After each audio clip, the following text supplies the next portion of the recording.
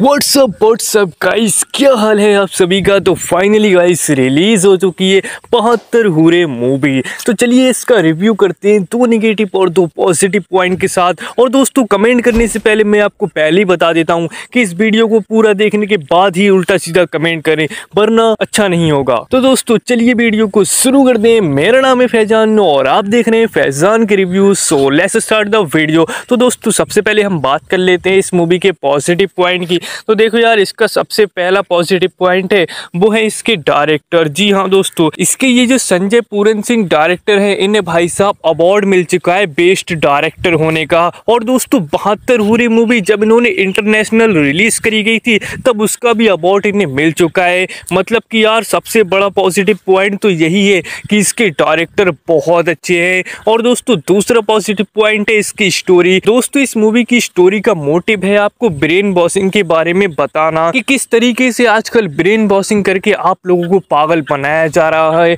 और दोस्तों, वो इस मूवी में बहुत ही अच्छे तरीके से दिखाई गई है। लेकिन जो बंदा ब्रेन वॉशिंग करता है, वो गलत होता है। उसकी निगेटिव में बात करेंगे। वेल दोस्तों, इसकी स्टोरी है दो लड़के के ऊपर, जिन्हें भाई साहब कुछ आतंकवादी कहते हैं कि अगर तुम ऊपर वाले के लिए भरी महफिल में जाकर बॉम्ब ब्लास्ट करके खुद को मार लोगे और लोगों को मार दोगे, तुम्हें जन्नत मिलेगी। और जन्नत में मिलेंगी तुम्हें बहत्तर हो रहे मतलब यार, किस तरीके से इन्हें पागल बनाया जाता है। वो आप इस मूवी में देखना, आप भी हैरान हो जाओगे। वेल दोस्तों, अब बात कर लेते हैं इसके दो निगेटिव पॉइंट की। तो पहला निगेटिव पॉइंट यही है कि भाई, इस मूवी की लेंथ बहुत कम है। मतलब कि डेढ़ घंटे की ये मूवी है। और दोस्तों, ऊपर से सबसे बड़ी बात, इस मूवी की स्टोरी बहुत स्लो है। जब ये ओ प्लेटफॉर्म पे रिलीज़ हो, तब आप इसे देखना। भाई साहब, आप टू में देखोगे, तब भी आपको इसकी स्टोरी बहुत स्लो लगेगी। मतलब कि अगर इस मूवी को नॉर्मल स्पीड से बनाया जाता तो ये मूवी पचास मिनट की बनती। वेल दोस्तों, ये भी बहुत बड़ा नेगेटिव पॉइंट है। अब दोस्तों, दूसरा नेगेटिव पॉइंट है, जो भाई साहब इसमें आतंकवादी होते हैं, वो मुस्लिम मौलवी होते हैं। मतलब कि मुस्लिम मौलवी कहते हैं कि अगर तुम लोगों के बीच बॉम्ब ब्लास्ट करोगे, उन्हें मारोगे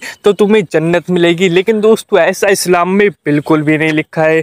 मतलब कि इसमें बिल्कुल झूठ बताया गया है और तो और मुस्लिम मौलवी के थ्रू बताया गया है। तो ये बहुत बड़ी कॉन्ट्रोवर्सी क्रिएट कर सकता है। वेल दोस्तों, यार, इसमें आतंकवादी दिखाने ही थे तो भाई साहब कोई गैंगस्टर दिखा देते या माफिया दिखा देते, तब भी चल जाता। लेकिन दोस्तों, इन्होंने मॉल भी दिखाया इसीलिए बहुत सारे लोगों का दिल दुख रहा है। वेल दोस्तों, ये सबसे बड़ा नेगेटिव पॉइंट है। दोस्तों ओवरऑल में दो पॉजिटिव और दो नेगेटिव पॉइंट को मिलाकर बताऊँ तो भाई साहब, आपको ये मूवी देखनी चाहिए। क्योंकि यार, इसमें जो हमें सीखने को मिला है, वो बहुत ही अलग है। वेल दोस्तों, इस मूवी को दूँगा मैं भाई फाइव में से थ्री स्टार तो दोस्तों आई होप आपको वीडियो अच्छी लगी होगी। वीडियो अच्छी लगी तो वीडियो को लाइक करके चैनल को सब्सक्राइब कर देना। मिलते दोस्तों नेक्स्ट वीडियो में तब तक के लिए बाय टेक केयर